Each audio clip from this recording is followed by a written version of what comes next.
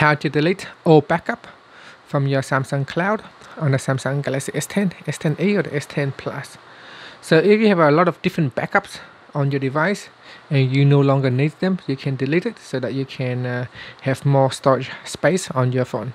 First, tap on the home key to go back to your home screen and then go down at the top, swipe down and tap on the settings icon.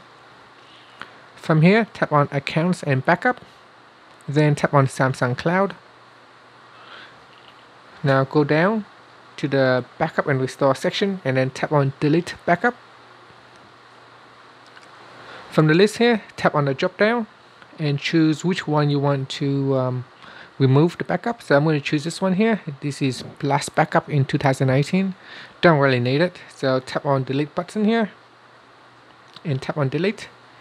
And so that will delete the backup.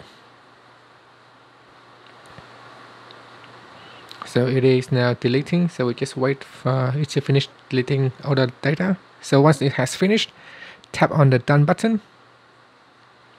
And that's it. So you can see that backup is gone and there's only a few more left so I won't delete them for now and that's it finally you can just tap on the home key to go back to your home screen thank you for watching this video please subscribe to my channel for more videos